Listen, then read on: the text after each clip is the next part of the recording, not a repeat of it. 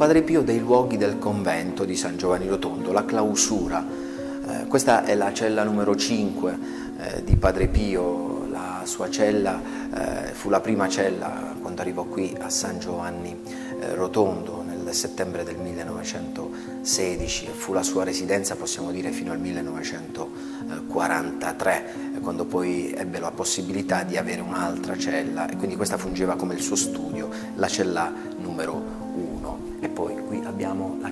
interna, il sacellum ehm, dove eh, Padre Pio, così come tutta la fraternità e anche oggi la fraternità di San Giovanni Rotondo vengono qui a celebrare eh, l'Eucarestia, un luogo ricordato proprio eh, per quei due anni trascorsi in segregazione, eh, la cosiddetta segregazione di Padre Pio dal 31 al 33.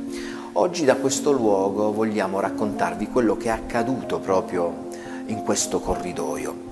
Eh, parliamo di padre Luigi Irzio eh, Magliacani, che è stato un missionario cappuccino ehm, in India e futuro vescovo vicario apostolico d'Arabia. Perché futuro? Perché il fatto che stiamo riferendo eh, fa riferimento al 1948. Infatti lui prese possesso divenne vicario apostolico d'Arabia dal 25 dicembre del 1949 al 4 novembre del 1969.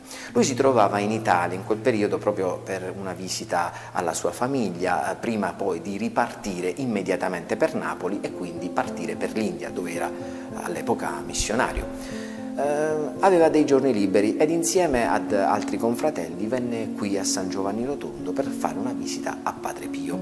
Eh, però padre Magliacani, parlando poco prima con padre Andrew Apostoli, con cui era venuto qui a San Giovanni Rotondo, eh, gli disse, beh senti padre Andrew, ehm, io non sono molto convinto di questo Padre Pio pensava appunto che Padre Pio non fosse eh, una cosa genuina, credeva appunto eh, nell'opposto. Quando si incontrarono però, ebbe quindi un incontro con Padre Pio, Padre Pio gli disse, mm, caro Padre Luigi ti devo dire una cosa, non tornerai mai più in India. Lui doveva partire qualche giorno dopo, tu non tornerai mai più in India. E Padre Luigi a quel punto stette qui una giornata, continuò a stare qui e si fermò anche per il pranzo. Durante il pranzo successe qualcosa di straordinario. Proprio qui a San Giovanni Rotondo squillò il telefono. La telefonata arrivava dal Vaticano, da Roma, dalla Congregazione della Propagazione per la Fede. Volevano parlare proprio con padre Luigi Magliacani. Egli andò al telefono gli fu detto di non mettersi sulla nave che doveva andare in India, ma di tornare immediatamente a Roma per avere un'udienza proprio con Papa Pio XII. Lui di corsa tornò verso Roma, il Papa quando lo vide disse Padre Luigi eh, voi siete stato scelto per aprire una nuova missione in Arabia.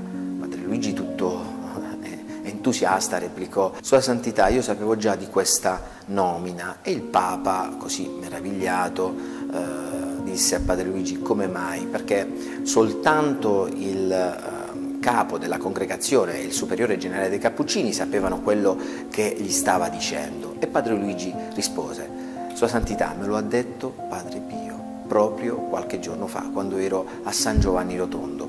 E quando mi misi in viaggio per andare a trovarlo, io credevo che fosse un pazzo, un matto. Adesso capisco perché Padre Pio è un grande santo.